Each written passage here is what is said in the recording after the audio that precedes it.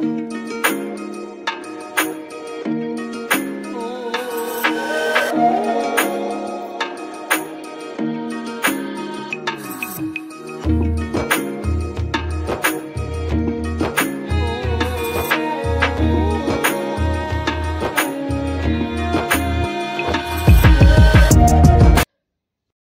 Hello guys welcome to my new blog. सबसे पहले आप सभी बड़ों को मेरा प्यार भरा नमस्ते, छोटों को मेरा ढेर सारा प्यार।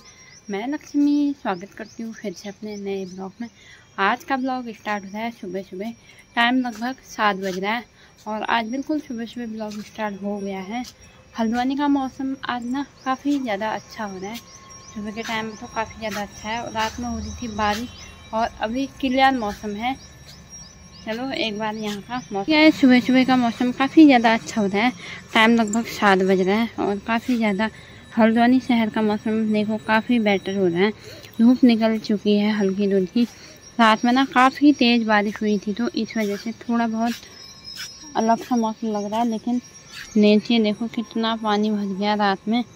और इधर से पहाड़ों का व्यू भी दिखने लग गया है आज पूरा क्लियर आज पहाड़ों में कोहरा लगा नहीं है। और ये देखिए। थी छत में कपड़े डालने के लिए नहाना धोना हो चुका है। अभी छत में आ रही हूँ कपड़े डाल डालने। और कपड़े मैंने धो दिए हैं, नाश्ता भी बना दिया है। और बच्चे स्कूल के लिए रेडी हो रहे हैं। उससे पहले फटाफट से छत में एक बार कपड़े डाल देते हैं, फिर आगे का भी जाने वाले हैं। एक महीने की पूरी ख़त्म हो गई है और मुझे ना काफ़ी ज़्यादा बुरा लग रहा है क्योंकि हर बार मैं उनके साथ जाती थी और मैं जाती थी उनके साथ तो अब मैं क्वार्टर में नहीं रहती हूँ। पहले मैं आधी क्वार्टर में ही रहती थी, लेकिन इस बार मैं नहीं जाऊँगी तो काफ़ी ज़्यादा बुरा लग रहा है।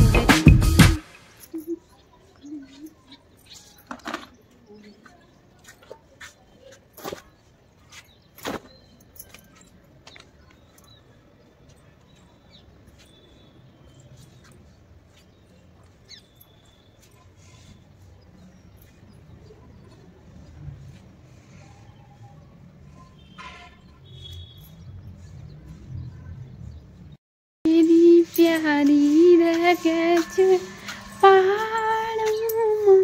मेरा मन लागा तू जाने लग गए अंकल के साथ स्कूल वो सामने में और ये है पतिदेव। यहाँ से स्कूटी स्टार्ट करेंगे उसके बाद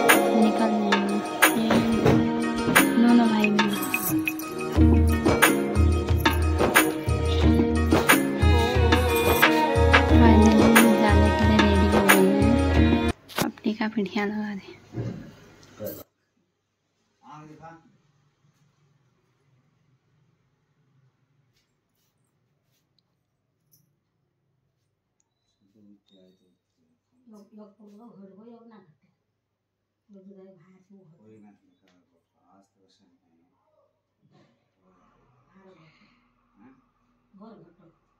सारा सामान पैक हो गया है, दो तीन बैग और अभी जा रहे हैं। न्यूटी के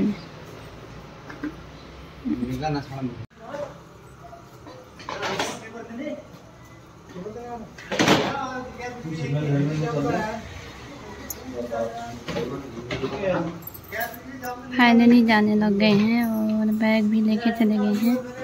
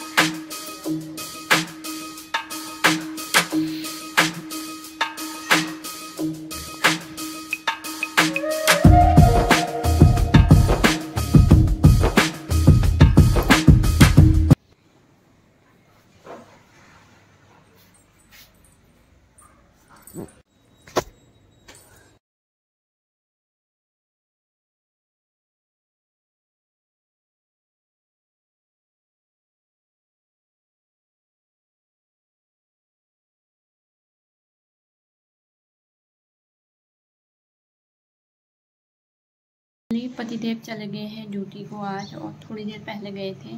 लगभग दस बजे। अभी लगभग टाइम बारह बज गया है और काफ़ी ज़्यादा बुरा लग रहा है क्योंकि आज तक हम लोग साथ रहे थे तो अलग बात थी। अभी वो अकेले गए इस बार। काफ़ी ज़्यादा बुरा लग रहा है। मैं बता नहीं सकती हूँ कि कितना बुरा लग रहा है। बस ऐसे ही है।